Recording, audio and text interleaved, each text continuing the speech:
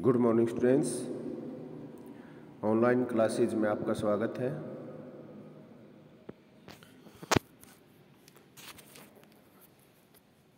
आज का टॉपिक है, रुझान क्या है? रुझान परीक्षणों की उपयोगिता और सीमाएँ।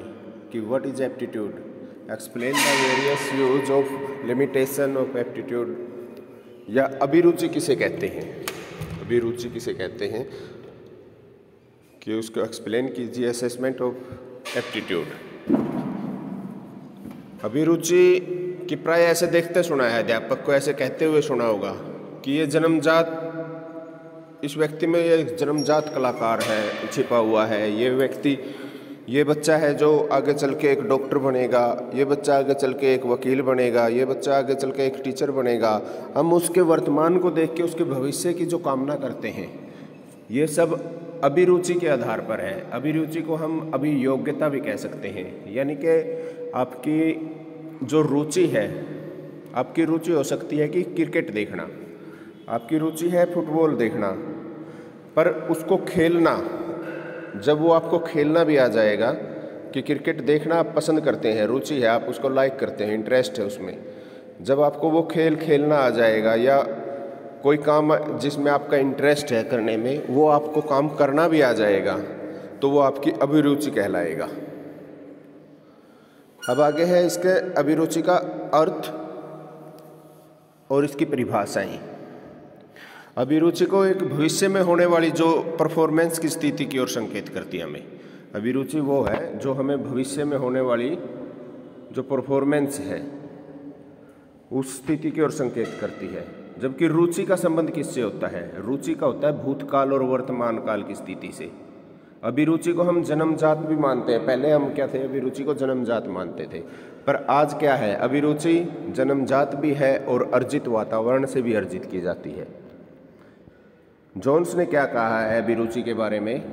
कि जॉन्स ने अभिरुचि की परिभाषा दी है कि अभिरुचि कोई योग्यता नहीं परंतु कुछ योग्यताओं को संभावित विकास के बारे में भविष्यवाणी करने में जो सहायक है, वो अभिरुचि है। स्किनर ने कहा है कि विशेष कौशल ज्ञान और रुचियाँ बताता है कि जो special skill knowledge and interest हैं जो अपने, वो एप्टीट्यूड है। Aptitude are special skill knowledge and interest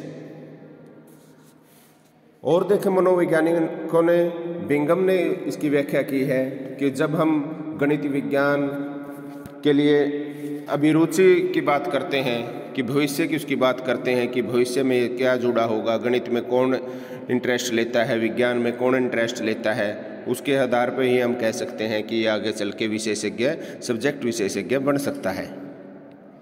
Warren ने दी है, जैसे आप ये देख रहे हैं बुक्स में वेरेन के अनुसार कि अभिरुचि वह देशा या गुण का रूप है जो व्यक्ति की उस योग्यता की ओर संकेत करता है, जो प्रशिक्षण के बाद ज्ञान, दक्षता, प्रक्रियात्मक को सिखाता है, जैसे भाषा बोलना और संगीत उत्पादन की योग्यता। कि आप किस कौन सी भाषा में इंटरेस्ट है? आप क्या करने की योग्यता रखते हैं? वो आपकी अभिरुचि है। अभिरुचि वह वर्तमान की दशा है जो भविष्य की अक्षमताओं की और संकेत करती है। टेक्सलर के अनुसार। सुपर के ने इसकी चार विशेषताएँ बताई हैं। विशिष्टता, एकात्मक रचना, सीखने की सुविधा और स्थिरता। बिंगम मोहिते ने क्या बताया है इसको? व्यक्ति की गुणवत्ता की ओर संकेत करती है। अभिरुचि वो है जो व्यक्ति की गुणवत्ता की ओर संकेत करती है कि इसमें क्या योग्यताएँ हैं, क्या काम करने की अक्षमता है और भविष्य की ओर जो संकेत करती है, वो कहलाती है। बिंगम के अनुसार अभिरुचि है। इन सभी परिभाषाओं से ये जो दी गई है निष्कर्ष निकलते हैं कि अभिरुचि है व्यक्ति के कार्य और व्यवसाय करने की योग्यता की ओर संकेत करना है। सेकंड है, वर्तमान वस्तु स्थिति जिसका संबंध भविष्य से है। अभिरुचि बहुतय होती है, बहुत सारी अभिरुचियाँ होती है अपने अंदर कि जैसे जैसे अपने इंटरेस्ट हम गेन करते जाएँगे, जो हम इंटरेस्ट जिस भी सब्जेक्ट में है, वो हम अचीव करते जाएँगे, वो अपनी अभिरुचि बनती जाएगी। ये एक विशेष आयु स्तर से निर्मित नहीं होती, ये जन्मजात ही होती है और वंश का इसके ऊपर प्रभाव पड़ता है हेरिडिटी और इन्वायरमेंट का इसके ऊपर प्रभाव पड़ता है। जैसे हम इन्वायरमेंट में रहेंगे, जैसे बच्चे को शिक्षा देंगे, जैसे बच्चे का रहन सहन रखेंगे, जैसे उसका साथ व्यवहार करेंगे, वैसी ही उसकी अभिरुचि बढ़ती जाएगी। और गुणात्मक इसमें परिवर्तन आता जाएगा, गुणात्मक इसमें लाभ होता रहेगा। पहले हमने जो सीखा हुआ काम है, वो आगे के सीखने के काम में भी वो हमारा मददगार साबित होगा। इसके बाद है अभिरुचि की प्रकृति। पहले क्या मानते थे कि अभिरुचि जन्मजात है या अर्जित की हुई है? पहले स्टार्टिंग में बीसवीं सदी के आरंभ में वैज्ञानिकों को, मनोवैज्ञानिक यही मानते थे कि जो एप्टीट्यूड है, वो हेरिडिटी का इफ़ेक्ट पड़ता है सिर्फ़ इसके ऊपर। पर आज इसको ये मानते हैं कि इन्वायरमेंट का भी इसके ऊपर प्रभाव पड़ता है। क्या अभिरुचि परिवर्तनशील है या स्थिर है? यस पहले मानते थे कि ये स्थिर है, अनुसंधान का अभाव होता है इसके अंदर। पर अब क्या है कि इसमें परिवर्तन किया जा सकता है, उसको ऐसा इन्वायरमेंट दें किसी भी विद्यार्थी में अगर अभिरुचि बढ़ानी है तो उसको बार बार अनुसंधान करें बार बार उसके ऊपर रिसर्च करें, उसको काम करने के अवसर दें तो उसमें परिवर्तन लाया जा सकता है। आगे है अभिरुचियों के प्रकार की टाइप्स ऑफ़ एप्टीट्यूड दस्तकारिता बिंगम के अनुसार बता रखे हैं ये, कि दस्तकारिता में अभिरुचि कलरक के कार्यों में अभिरुचि कि कलरक कितने अच्छे से गणना कर देता है, कितने स्पीड से वो टाइपिंग करता है। शैक्षणिक कार्यों में अभिरुचि संगीत और कला में अभिरुचि डॉक्टरी व्यवसाय में अभिरुचि वकालत में अभिरुचि कि कोई वकील इतना एक्सपर्ट होता है कि झूठे केस को में भी बरी ले आता है। इंजीनियरिंग में अभिरुचि और कौशल व्यवसाय में अभिरुचि ये बिंगम ने अपने कर, इसके टाइप्स बताए हैं, फिर आगे केले के केले मोहिदे ने बताए हैं। कि मौखिक अभिरुचि भी होती है, कि बोलने में कोई इतना एक्सपर्ट होता है, अपने उसके शब्दों के प्रभाव इतना अच्छा होता है, कि वो गलत बोलते हुए भी, कि वो सही नहीं है, पर इतना प्रभाव से तो अपना प्रभावशाली बन जाता है, अपने शब्दों के प्रभाव से। अध्यापक में इस तरह की क्वालिटी अगर बोलने में एक्सपर्ट है, मौखिक अभिरुचि है वर्बल तो वो बच्चों में बहुत प्रभावशाली बन जाता है। संख्यात्मक न्यूमेरिकल अभिरुचि कि संख्याओं को जोड़ना है, गुणा करना है, घटा करना है, भाग करना है, कि संख्याओं को पहचानने संबंधी है। ये अभिरुचि, स्थान संबंधी अभिरुचि। कई व्यक्ति ऐसे होते हैं कि स्थान में एक बार देखा उसकी सारी, एक बार देखने से ही सब कुछ उसको याद आ जाए कि मैं यहाँ, कभी पंद्रह साल पहले, बीस साल पहले आया था, वहाँ पर ये इस तरह की घटनाएँ हैं।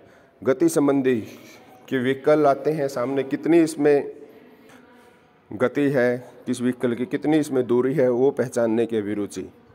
संगीत में, सामाजिक और यांत्रिक, मैकेनिकल, सोशल, म्यूजिकल, इस प्रकार के एप्टीट्यूड, जो एक विशेष योग्यता रखने वाले व्यक्ति तो है, उसमें चहुमुखी विकास करने में उसमें मददगार साबित होती है। आगे है अभिरुचियों को मापना। कैसे मापा जा सकता है? अभिरुचियों को हम ऑब्जर्वेशन के माध्यम से भी माप सकते हैं और परीक्षणों के माध्यम से भी माप सकते हैं। ऑब्जर्वेशन है आप। ऑब्जर्वेशन सहभागी भी हो सकता है, असहभागी भी हो सकता है।